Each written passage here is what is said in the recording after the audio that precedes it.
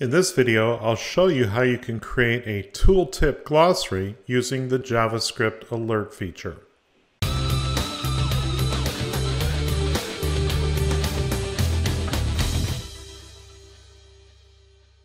I was inspired recently by a post on the Adobe e-learning community by Greg Stager, and I'll put a link to that post in the description of this video, where he talked about customizing and using the Captivate alert window. So he talked a little bit about how you can use the object style manager, which I'll go into a little bit, and how you can have custom messages to your learners using JavaScript alerts. It's quite an effective tool. And I thought, how can I use this in a way that perhaps we haven't thought of before?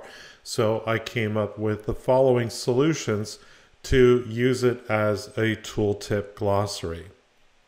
If you have a phrase or word in your on-screen text that not everyone might be familiar with, highlight that phrase or word. Click the Insert Hyperlink icon in the Properties Inspector in the link to drop-down selector, choose Execute JavaScript. Click on Script window. The format you will use is cp.alert parentheses followed by an opening quotation mark, then enter the text that you want in the tooltip glossary message. Add a closing quotation mark followed by a comma and then a new opening quotation mark. Then include the alert pop-up title, followed by another quotation mark, a closing quotation mark, then followed by a parenthesis, and finally a semicolon. Here's an example that I've written that includes a description of the President of the United States and of course the title President of the United States. I'm going to click on OK. The other thing you'll need to do is make sure that this script is run in the current window. So I've selected that. I'm going to click OK and you'll now see a hyperlink created in this particular text item.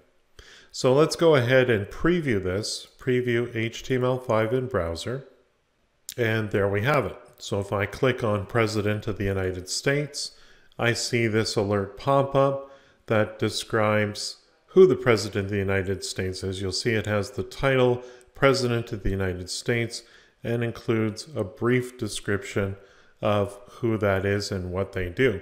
I can click OK to return to my course. You can have as many of these tooltip pop-ups on your slide as you need. If you don't like the alert pop-up's appearance, you can edit the colors from the Adobe Captivate Object Style Manager. Click on the Edit drop-down menu and select Object Style Manager. Select Runtime Dialog and then make whatever changes to the appearance that you wish to have for your alert messages. If you thought this video was useful, please like and share it with your colleagues. If you need help with Adobe Captivate, hire Paul for one-on-one -on -one instruction Paul's goal is to focus on lessons based on your specific needs. Visit his website at CaptivateTeacher.com and don't forget to subscribe to his YouTube channel.